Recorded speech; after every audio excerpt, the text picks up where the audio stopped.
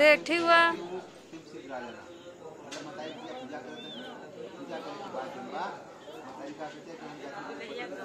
के नाना, मारो ना डंडा में। अरे, हो गल बाद में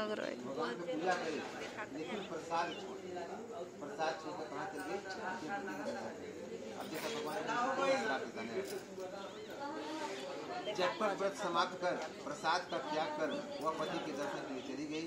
इसी से भगवान उसके ऊपर नाराज़ हो गए और पति युक्त नाव को पानी में डुबा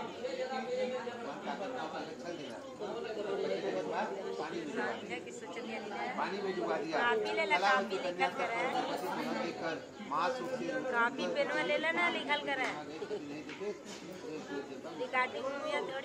अलक्षित हुई नाव और महादुखी कन्या को देखकर कर मन में अत्यंत करने लगा कि यह क्या क्या होगा भी चिंता करने लगे। कन्या को दुखी कर अत्यंत व्याकुल हो से करने लगे। फिर पति से कहा तभी नौका से दामाद मैं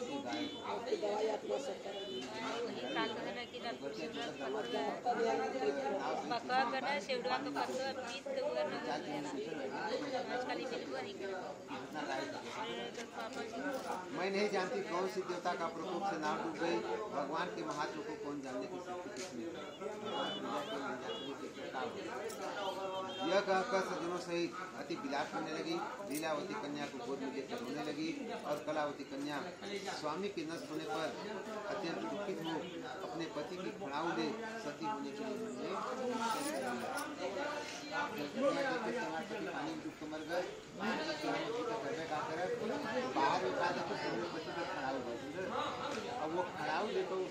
देते निश्चय किया कन्या के इसी चेत को देखकर धन पिता बैठ नहीं इसे सही अत्यंत सुख से संकल्प को चिंता करने लगा कि या चुनाव को भगवान ने लिया है या भगवान की माया से मोहित हो रहा हूँ। मैं अपने धन और विभव के अनुसार आपका पूजन करूँगा। फिर मैं माने भगवान? बार बार पृथ्वी पर दंड के समान गिरकर भगवान के, भगवान को प्रणाम किया। तो दिन जनों के पालन करने वाले सत्यनारायण भगवान को प्रसन्न हो गए। भगवान के जैसे सिया चलने लगे ना वहाँ चल गए समझे? भाव से तू मन गए वही भाव से भक्तों के पालन करने वाले भगवान ने साधु के आकाशवाणी द्वारा कहा कन्या मेरा प्रसाद छोड़कर कन्या मेरा प्रसाद छोड़कर अपने पति के दर्शन के लिए तेरी कन्या मेरा प्रसाद छोड़कर अपने पति के दर्शन के लिए चली आई है। इसी से इसका पति गायब हुआ अब यह घर जाकर प्रसाद भक्षण करके आवेगी कि तेरी कन्या का पति फ़ोन दो तुम बहुत फ़ोन देखते हो आज। छोड़े से कितना है? दो फ़ोन। कन्या ने आकाश मंडल से ऐसा वचन सुनकर तुरंत घर जाकर प्रसाद भक्षण किया। फिर लौट कर घर आई। है? उसने अपने पति को देखा।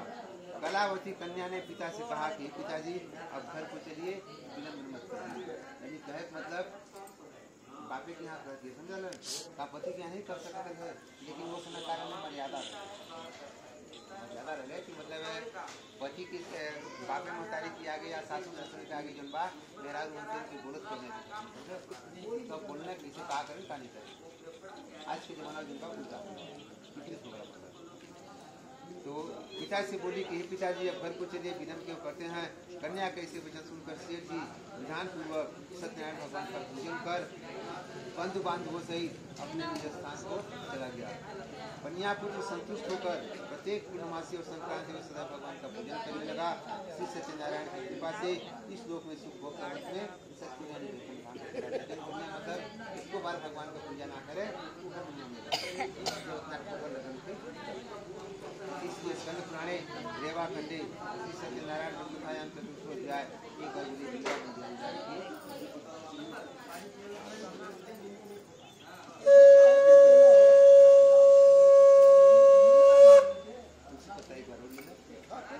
क्या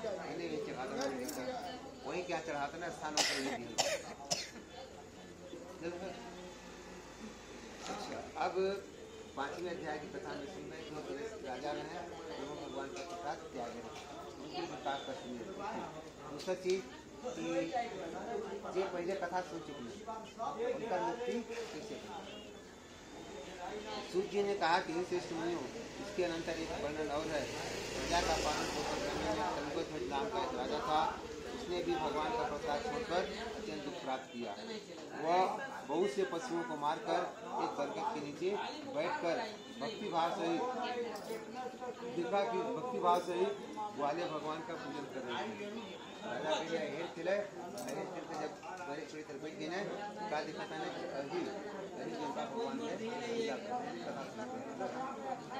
उसी समय राजा अपने अहंकार से पूजन देख कर भी समीप नहीं गया। मतलब और जाता किसी देवस्थान बा।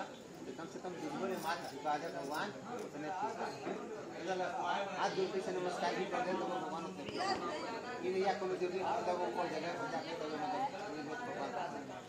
भगवान लेकिन राजा जब बा बीमारी में तो वहाँ गल प्रसाद परित्याग कर, अपने घर को चला गया। राजा के सौ पुत्र थे। सब धन संपत्ति नष्ट हो गई। राजा अपने मन में विचार किया कि अब वही चलना चाहिए, जहाँ भगवान का पूजन हुआ था। ऐसा निश्चित कर ग्वालों के समीप गया। वहाँ भक्ति और श्रद्धा से ग्वालों के साथ उस राजा ने विधि पूर्वक भगवान का पूजन किया।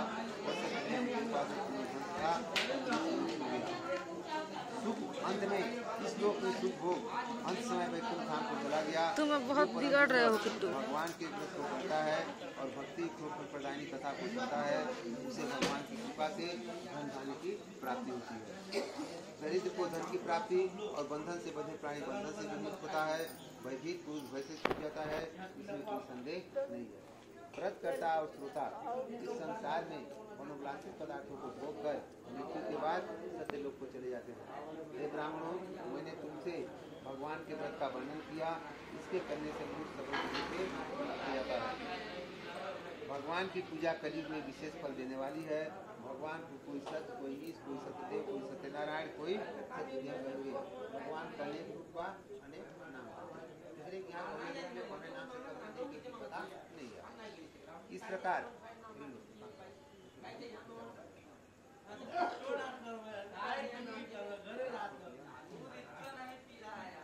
इस प्रकार अनेक रूपों को धारण कर भगवान से अपने मनोरथ पूरा करते हैं। कलयुग में चतुर्थी भगवान का अवतार होगा, जो मनुष्य कथा का पाठ करते हैं या जो सुनते हैं। सत्यनारायण भगवान की कृपा से उनके पास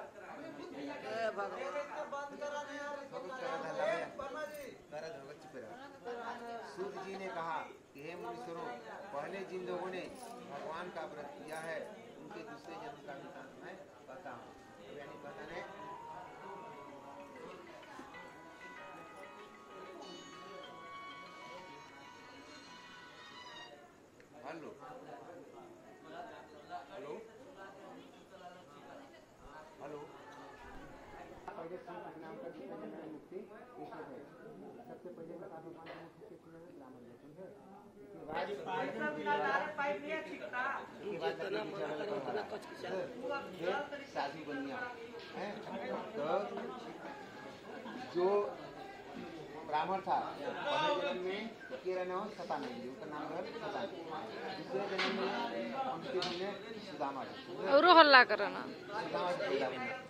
सुदामा जी जो भगवान श्री कृष्ण के ए पापा इसके एक एक समझावा ई ढेरा मोबाइल देखला आजकल की। दे दे मोबाइल लेके का करता चल दे मोबाइल दूसरे जन्म में कहाँ पैदा भल और पतिया के मम्मी ला, बोल देखा, देखे दे कार्टून देखा दे बता दे जब तक पाँव नहीं पखारे भगवान का तब तक नाई पर नहीं चढ़ा तो वो पखारे से भगवान का नाई पर चढ़ा कर पार कर से का जन्म मुक्ति हो अब की मुक्ति हो गई ब्राह्मण के और लकड़ी हरा के अब बच गई ना साधु हम्म? तो वह साधु बनी। अच्छा उल्लकामुख राजा। उल्लकामुख राजा रहना है। दूसरे जन्म में महाराजा जो रंगनाथ का पूजन कर वैकुंठ धाम को प्राप्त किया राजा दशरथ जी का पुत्र जन्मा भगवान श्री रामचंद्र जी गुजर रहे ना? अब उनका दर्शन कौन वैकुंठ धाम से प्राप्त हुए हैं। साधु नाम का जो बनिया था, साधु बनिया की कथा सुनी जाएगी ना? साधु नाम का जो बनिया था, वह सत्य विद्या मोरज में नाम का राजा हुआ।